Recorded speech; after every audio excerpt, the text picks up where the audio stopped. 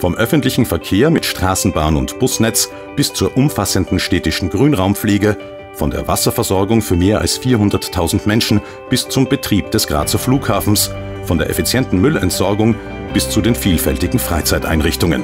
Die Holding Graz ist als modernes und serviceorientiertes Dienstleistungsunternehmen mit rund 2700 Beschäftigten der Garant dafür, dass die komplexe Infrastruktur im Großraum der steirischen Landeshauptstadt auf allen Ebenen funktioniert und ständig erneuert und ausgebaut wird.